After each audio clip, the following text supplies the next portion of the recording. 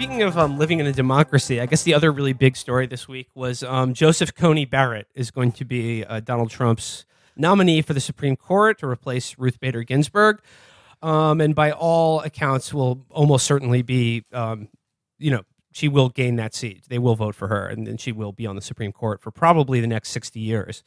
But yeah, I mean, where, where, where do you want to go with uh, Kony 2020 Barrett here? I mean, it, it does seem incredibly bleak. I mean, because like, the idea that like the Supreme Court is going to be mega throttled by like an insane, insane like right wing minority. Uh, like I mean, not the majority on the court, but representing a astonishingly small number of people who, and again, no Yeah. one no one's voted for any of these people, and they're going to basically throttle all law for the next 60, 70 years, most likely. Um, I, I don't know. I'm do you- kind of taking a. I'm kind of taking a a, a, a Zen approach to it because the way I kind of think of it, uh, one way or another, her being on the Supreme Court and this new six three majority isn't going to matter that much in the near future, because either there will be some sort of meaningful political crisis caused by the now uh, completely uh, frozen gears of the government and like this new dominant minority that is literally making it makes it impossible to govern uh, and that's going to cause that would either cause the Supreme Court to uh, to be to lose its position as like the the veto point the final veto point for all legislation and programs. Or if that doesn't happen and we're in a situation where that court is still there we have other bigger problems you know? Mhm. like e- it- like it's gonna that's only gonna be a tertiary uh, uh structural impediment to anyone not being put in turned into fucking dog food. I guess just um, uh, the thing I've been most fascinated with is the um, it, it, it's the notorious RGB people and their their inability to metabolize what happened, or that they, they, they, they can't admit or allow them anyone to, to to openly state what is obvious and irrefutable that this is a situation we are in because of the rather selfish and irresponsible choice of Ruth Bader Ginsburg not to retire when it, she could have guaranteed that there would have been a liberal suited on, you know, seated to replace her. And th- th- these forms of denial take a couple really interesting uh, avenues. And like the first of which is to pretend that it was it just thoroughly impossible for Obama to get anyone on the Supreme Court because of what happened to Merrick Garland. Like forgetting the fact that like Mitch McConnell took over the Senate in 2014 and that he got already two of his choice justices on the Supreme Court in an up or down vote. So they're just pretending that that like that would have been impossible. So to say that oh oh yeah, just there's no way she could have retired and then just been replaced by someone who is you know uh, of a similar political point of view is one thing, and then the other thing is these people sort of like uh, saying that like there's no way she could have known that uh, Hillary Clinton would lose and that she would die, which is like uh, you don't have to be fucking the amazing Kreskin to just like okay yeah all of us myself included thought there was no way Hillary Clinton was going to lose that election. But it's still a fucking gamble if you're in her p- point. If you're in her shoes, it's still a fucking gamble. And to be willing to make that gamble with the lives of like hundreds of million people, hundreds of millions of people, so that you can still have fun on your job, seems pretty monstrous. Well, me. I mean, look, also uh, this idea that like she didn't know she could die. She's in her 80s and already had cancer twice. It's a pretty fucking fair, safe bet. I, I want to be fair to her. Look at the last 30 years of her life. It's not like there were any Republican presidents during that time. They never won. From 1990 to 2020, basically no GOP presidents. I don't know. I don't know, Will. I mean, you know, when people retire, you know, they start to get weird. You know, they're like, you know, maybe sometimes they just start hanging around the office. You know, like, cause that's all they know. It's, it's all you know what to do. You know, it's hard to like just take up new hobbies in your twilight years. You know, I mean, I don't, I, I don't blame her. I mean, I would have stayed on. It's fun. You know, it's a fun. You get to doesn't hang seem out with like fun it you get fucking no, you get to hang out with your friends. They're like Right, she was very Antonin good friends with Antonin Scalia. Scalia Yeah. and and Samuel Alito. Your you know your pals, you know your your crew, your gang, your entourage, whatever. Uh, you get to you know make the the decisions that are are not subject to the evaluation of anyone above you.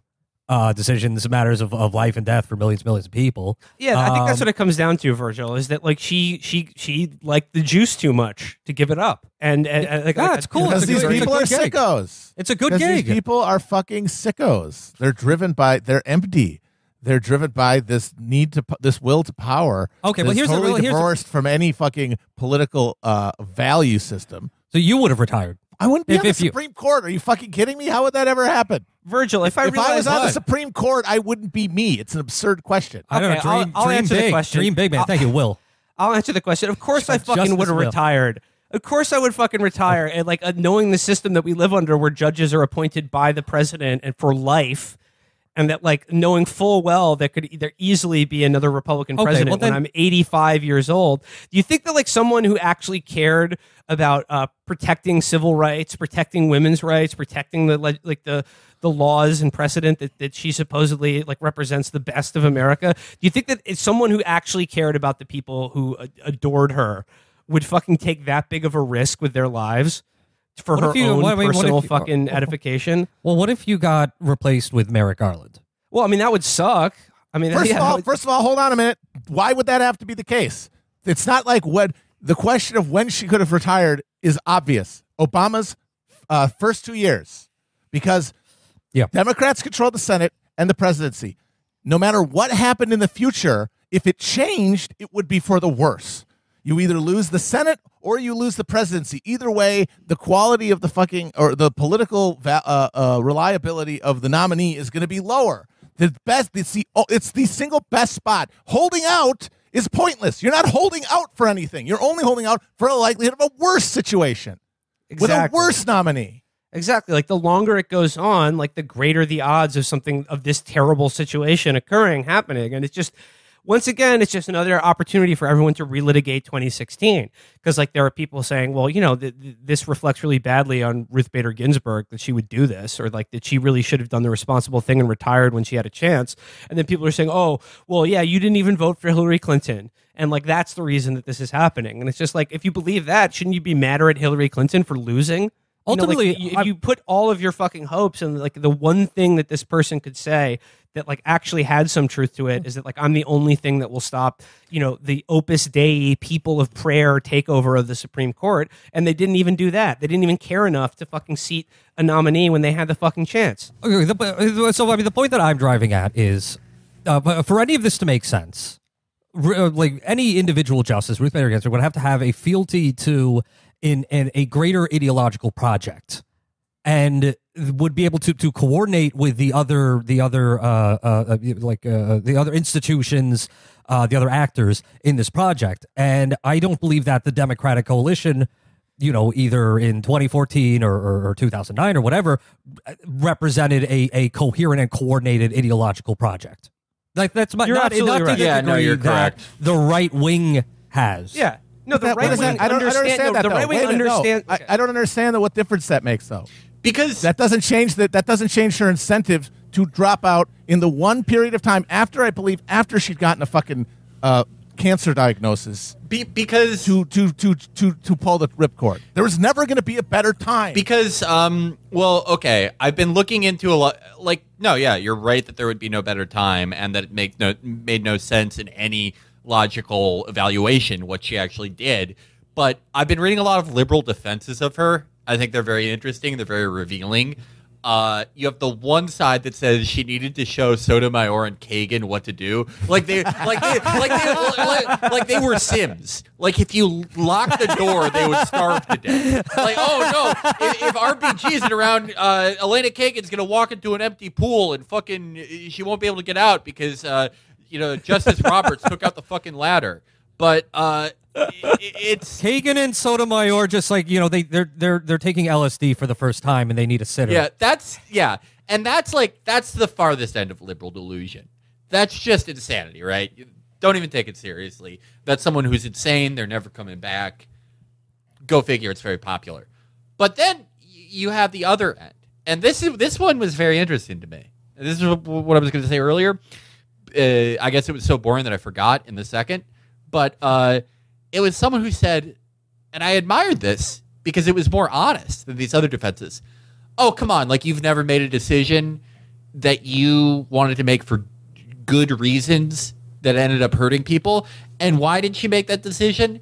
Because she wanted to inspire women by having her replacement picked by a woman. And no, Oh, that's idiotic. It's completely callous in the face of the suffering that her replacement is going to cause. It's playing a very high stakes game with a, a relatively low payout, depending on how you look at things. But knowing what we know about these people, could you not just see that being the reason she figured, eh, let's roll the dice? I What can't if- die, can I? Yeah, no. What Fel- if Felix- perversely all the the notorious RBG lionizing of her bullshit?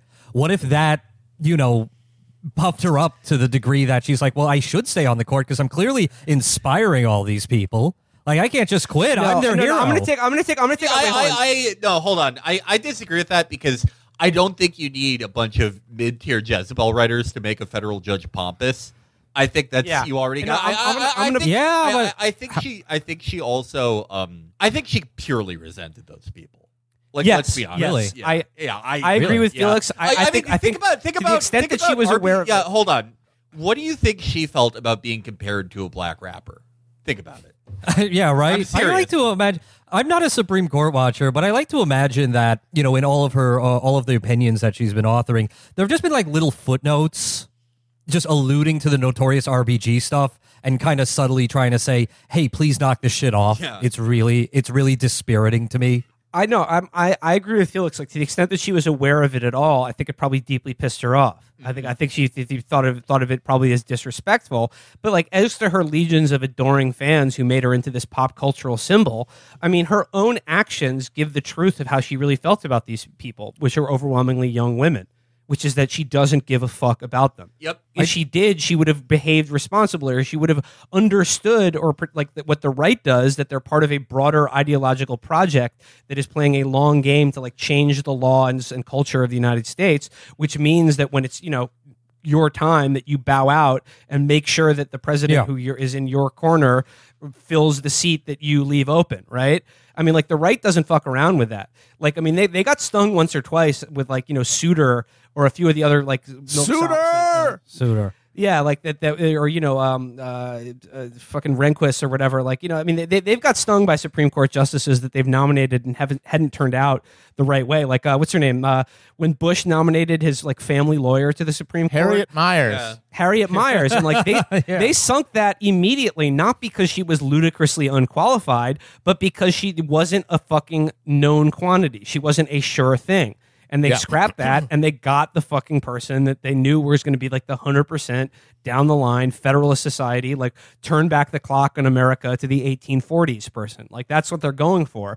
And, you know, like you said, I, I think you're exactly right. I don't think the liberals on the court or liberals anywhere in this country have any such notion that they're involved in a like a larger political project. And like I I think the evidence of that is that like what do they like about Ruth Bader Ginsburg? It's that she achieved Yep. individually and got to the highest thing and, and it's not just what what the laws she passed or like laws that she stopped from passing it's that it's that she's there and achieved and that's why she can stay there until she's 80 fucking years 90 fucking years old Uh, and- okay, what is the thing? Why did they call her Notorious RBG?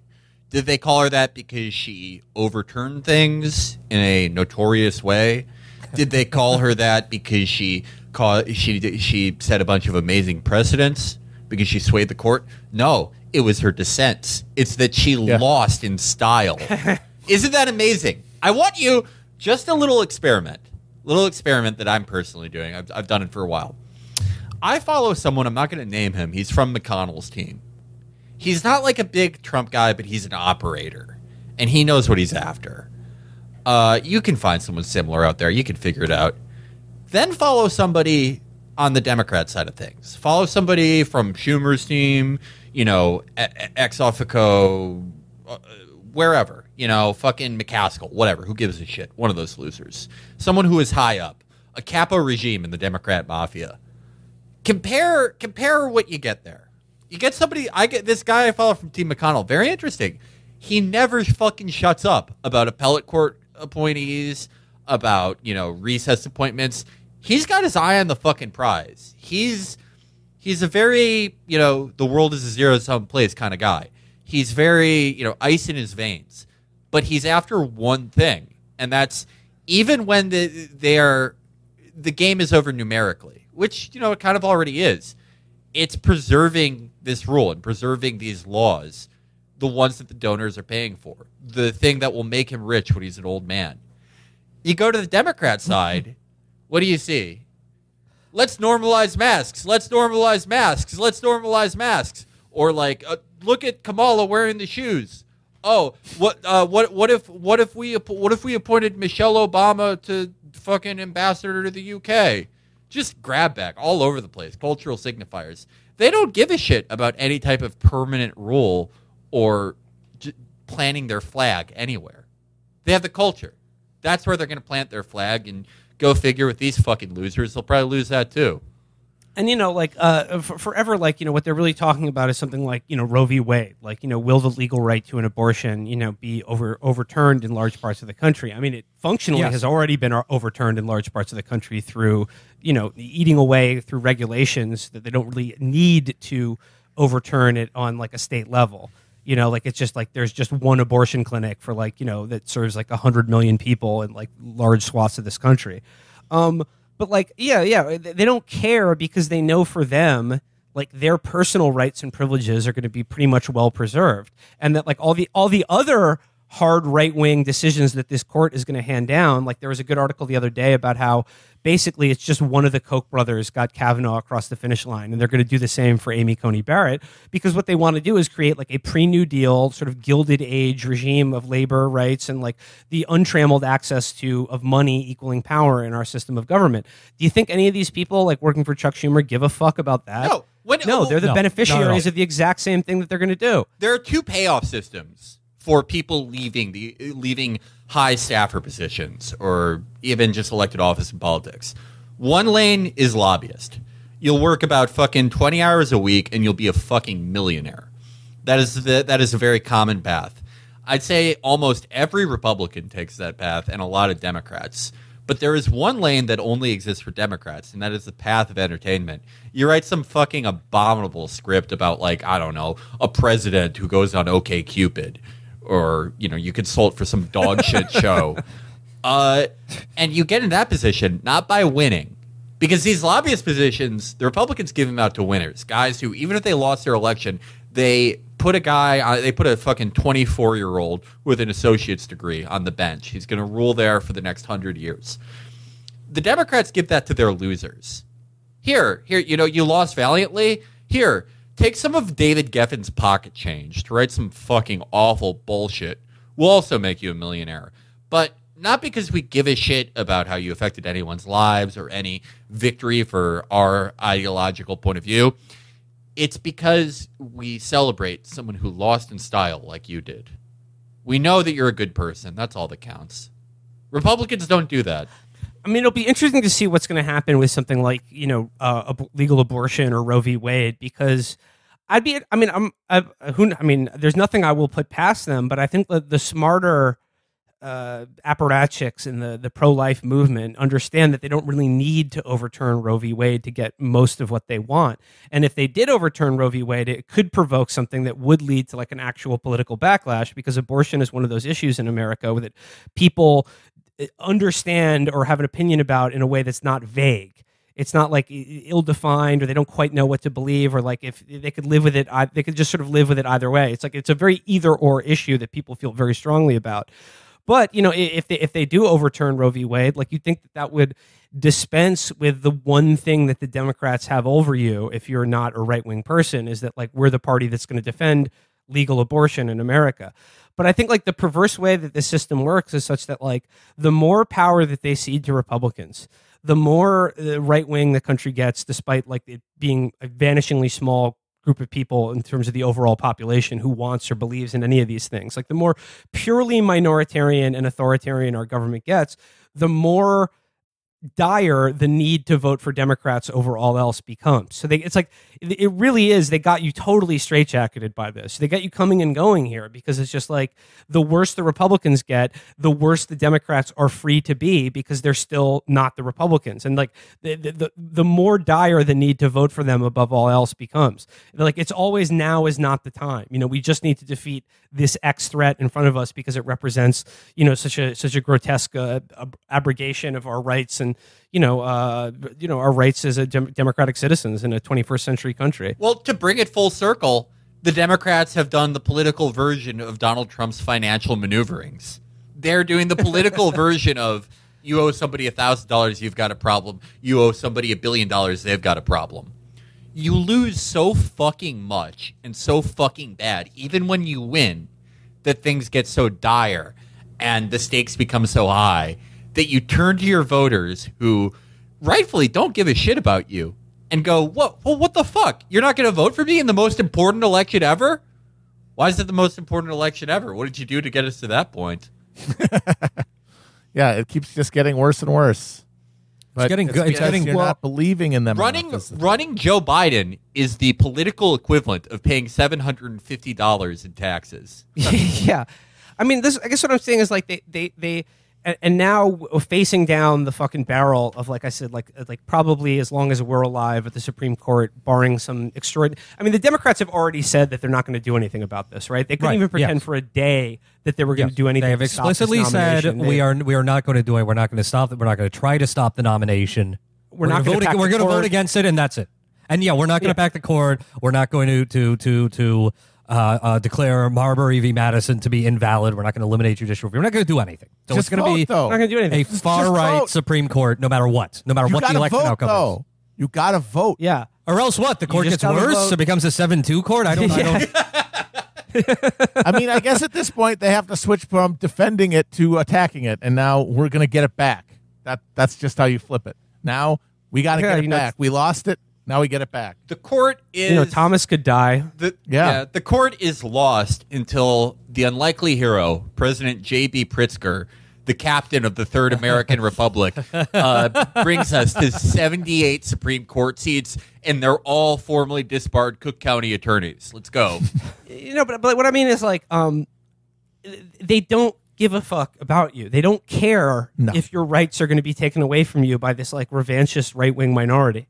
They simply don't give a fuck. If they did give a fuck at all, they would behave differently. They would try to win. They would try to do anything about it. And it's the people who defend them the most are still the ones who are like the people at fault here are those that have lost faith in the Democratic Party by not voting for Clinton or simply just being critical of her when she was our presidential nominee. And it's just it, it's it's just always going to be the case of them. It's they're never at fucking fault here, and it's just it's you know what? It's just if you if you're angry about the situation that you find yourselves in now as a Democrat, we sent you a boat in 2016 and a fucking helicopter in 2020, and you didn't fucking want it. Enjoy drowning with the rest of us. Like that. That's that's the allegory that I keep going for here. It's just like any any possible a, a different path that's offered to them, they shit all over it. And the same group of voters that they regard as apparently decisive in every presidential election, well, okay, if they're, if they're, if they're that important that like the, the Jill Stein voters are why Donald Trump is president, well, then shouldn't you try to like offer them something or get their vote if you need it that badly? Nope, not going to do that. Just keep voting for us. Just keep fucking voting for us. It's going to be a 9-1 Supreme Court eventually. But, you know, like that that one like you know the, the the one person that we have on there is just all the more reason we need to support them. I'm not. I like the idea that it's nine one because uh, the Supreme. It's all nine 8-1, conservatives. No, no. I like Yeah. I like nine one better because in the future it's all nine conservative justices, and then the Democratic president uh, wins in the vow to pack the court and adds a single seat.